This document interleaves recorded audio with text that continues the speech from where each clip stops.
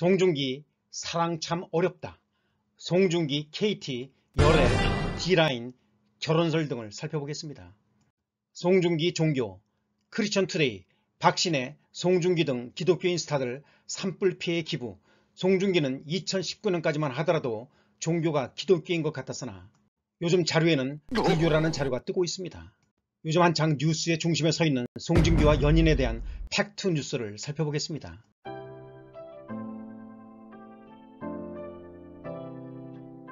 사랑이란 이승철 노래 제목 사랑 참 어렵다.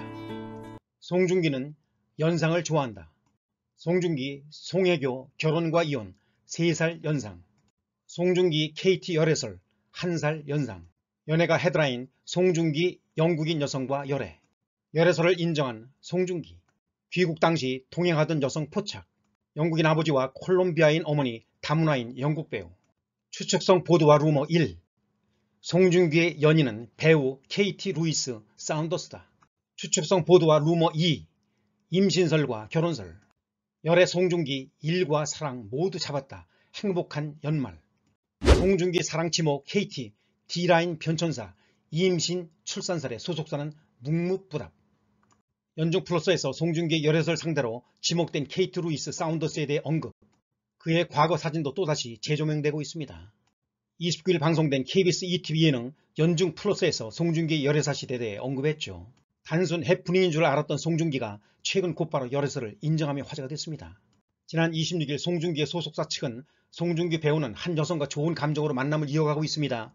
두 사람의 만남을 따뜻한 시선으로 바라봐 주시길 바랍니다. 라며 또한 교제 사실 이외의 정보들은 확인해 드릴 수 없는 점에 너른 양해 부탁드리며 확인되지 않은 추측성 보도는 자제해 주시면 감사드립니다. 라는 공식 입장을 발표했죠. 좋은 감정으로 만남을 이어가고 있다고 공식 입장을 낸 것입니다. 이 가운데 송중기가 드라마 관련 해외 일정으로 싱가포르를 방문 후 귀국 당시 동행하던 여성이 포착되며 영상이 주목됐습니다. 해당 여성이 영국인 여자친구라는 열애설 상대라는 의혹입니다.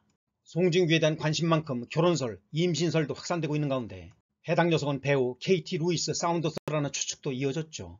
송중기의 여자친구로 지목된 Katie 루이스 사운더스는 1984년생으로 송중기보다 한 살 연상인데요. 영국인 아버지와 콜롬비아인 어머니 사이에서 태어났으며 영국 출생으로 명문대 보코니 대학교를 졸업했습니다. 런던과 이탈리아를 오가며 어린 시절을 보냈고 이후에는 밀라노에서 쭉 거주하는 것으로 전해졌죠. 다국적 배우로 알려졌으나 2018년 이후 연기를 중단한 바 있는 KT는 영어 튜터, 영어 선생님으로 일하고 있다고 알려졌는데 이와 관련 KT가 송중기의 영어 선생님이라는 추측도 이어졌습니다. 게다가 이탈리아어도 가르쳤다는 것입니다. KT가 이탈리아 밀라노에 위치한 사립전문대 보코니 대학 출신인데 송중기가 빈센조 촬영 당시 인물도 해당 학교 학사 졸업이 설정되어 있어 캐릭터 설정 때부터 인연이 이어진 것이 아니냐는 추측이 이어졌습니다. 또 그가 언급된 이유는 송중기가 한 시상식에서 수상 소감을 전한 모습이 재조명됐기 때문입니다. 당시 송중기는 사랑하는 KT, 날라, 마야, 안테스라고 말했고 누리꾼들은 날라는 송중기의 반려견 이름이며 KT의 반려견이 마야와 안테스라는 추측을 더했죠. 더불어 임신설과 출처가 불분명한 정보가 난무한 상황입니다. 임성재 결혼식도 영국 여자친구와 동반 참석하며 결혼설까지 불거졌는데요. KT는 2002년부터 2018년까지 약 16년 동안 배우로 활동했으며 2012년 3월 이탈리아 로마의 한 행사장에서 촬영된 사진 속에서는 D라인으로 보이는 몸매가 드러나 더욱 화제가 됐습니다. 누리꾼들 사이에서는 그가 금발의 여자의 측근 아이와 함께 있는 사진인데요. 공식 석상에 다정하게 대동한 사진까지 언급, 온라인상에 퍼지며 빠르게 확산되기도 했습니다. 제작진은 임신, 출산 등 난무한 각종설에 대해 정확히 알아보기 위해 소속사에 직접 문의했으나 소속사는 교제 사실 이외에 정보는 확인할 수 없으며 추측성 보도, 자제해달라는 보도뿐 아무런 답변을 들을 수 없었으며 계속해서 함구하는 입장을 고수하고 있는 상황입니다.